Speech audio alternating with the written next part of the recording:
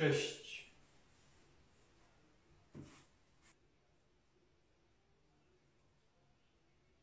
Dzisiaj będzie taktyka na chorobę. Tutaj trudniej się oprzeć, no bo mamy do czynienia z, z chorobą.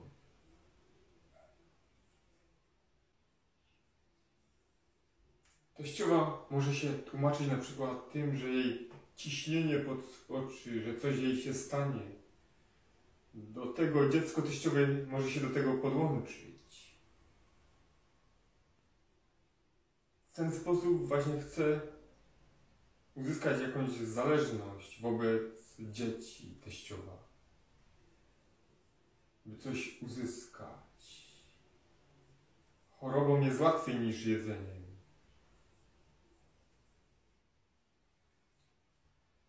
Ten rodzaj szantażu teściowej łatwiej wzbudza poczucie winy wśród nowych małżonków.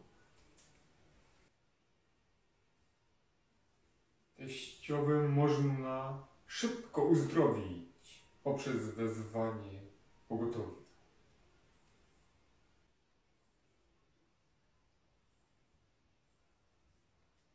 Bogiem!